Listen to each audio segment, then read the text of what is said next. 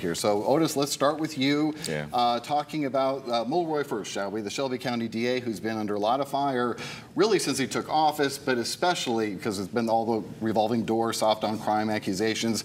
But then he had said, floated the idea, because he really didn't come up with anything concrete, Mm-hmm. that he was going to have a diversion plan for uh, those who are uh, felons of nonviolent crimes Right. uh, who are arrested for a gun violation or gun crime, uh, unlawful gun possession. Right. Uh, and that he took a lot of heat for that. Right. Uh, Cameron Sexton, the Speaker of the House, came into town, again calling him soft on crime.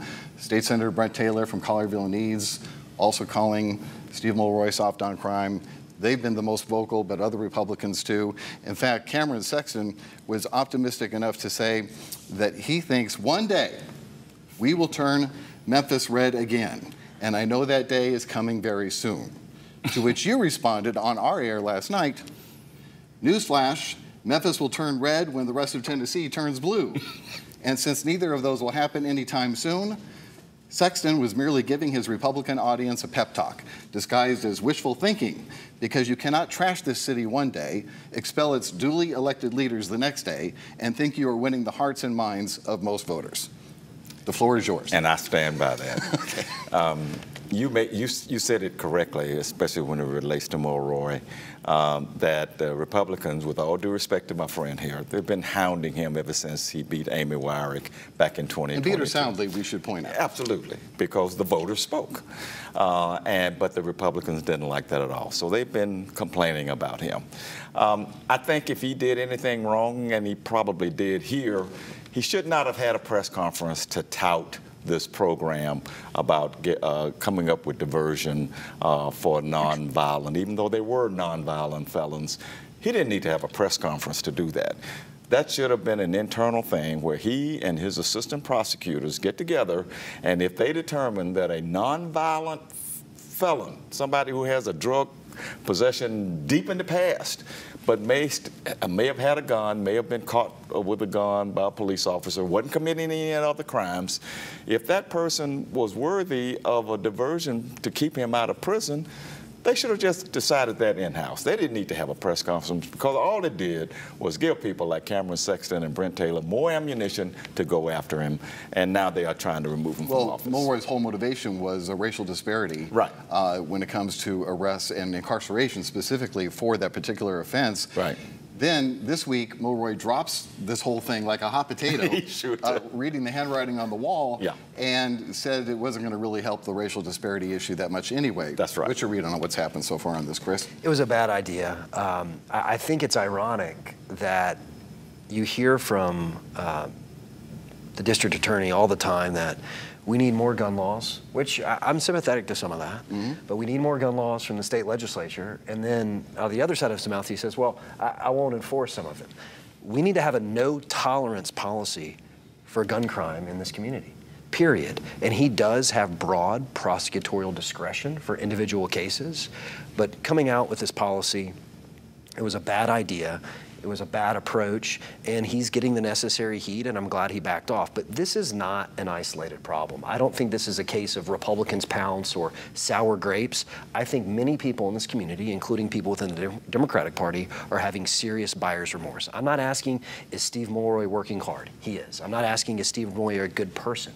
He is. I'm not asking, does he have good intentions? He does. I'm asking, is he doing a good job? And he's not. And we know that. We've, we had 40 criminal trials in a county of almost a million people last year. We have hundreds of murder cases that are backed up. We had this silly diversion proposal. We've had multiple issues.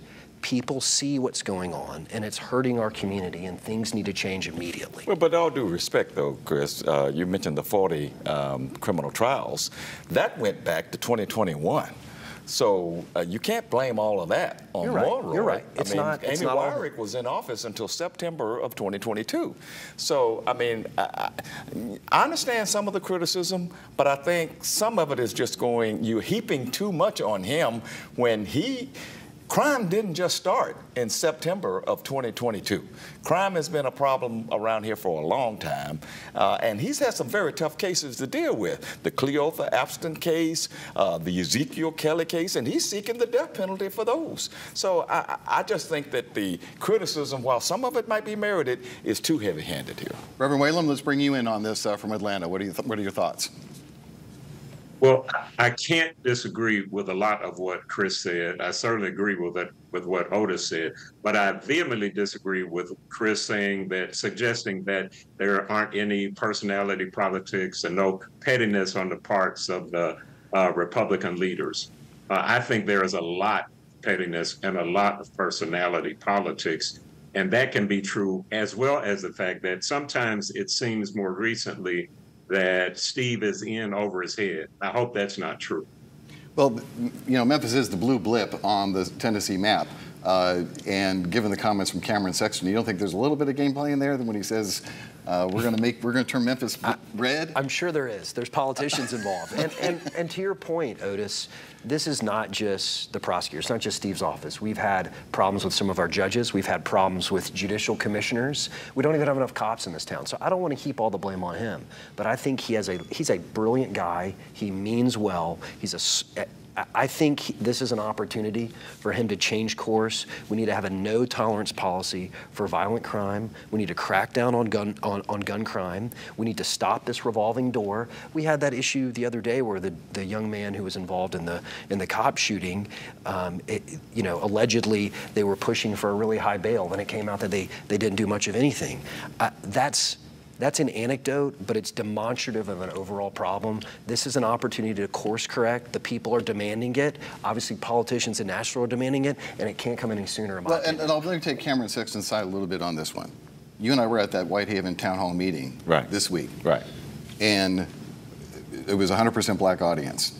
And the anger I felt in that room about crime mm-hmm. and not being, and they brought up the revolving door. And they brought up the lack of prosecutions, and they brought up people getting out. There might be an opportunity, you know, depending on turnout, depending on how much you, you make that as a wedge issue. I don't know. I mean, yes, a long shot, but what do you think? Well, I, yeah, there was a lot of uh, anger and angst at that uh, Whitehaven um, town hall that we had the other night. Um, but if you're talking about the revolving door, to Chris's point, that's a judicial problem. That's the judicial commissioners and the General Sessions Court judges who are in charge of them. Uh, I don't think that that's a Steve Mulroy problem right there. Um, and Steve Mulroy was elected for an eight-year term. Uh, and so if you, if you think we're stuck with uh, Wanda Halbert, we're, we're stuck with him too, because I just don't see how this legislature is going to effectively remove him. He hasn't done anything that requires removal. He's not incompetent. That's, we just have a policy dispute true. here. And so let's let's not go up.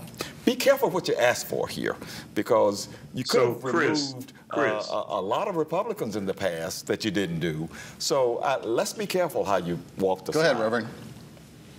Yeah. So, Chris, when we when we finish this taping, why don't you text Sexton and um, the other guy, Brent, and tell them to back off for a second. Just tell them to give Steve six months and revisit the whole issue later.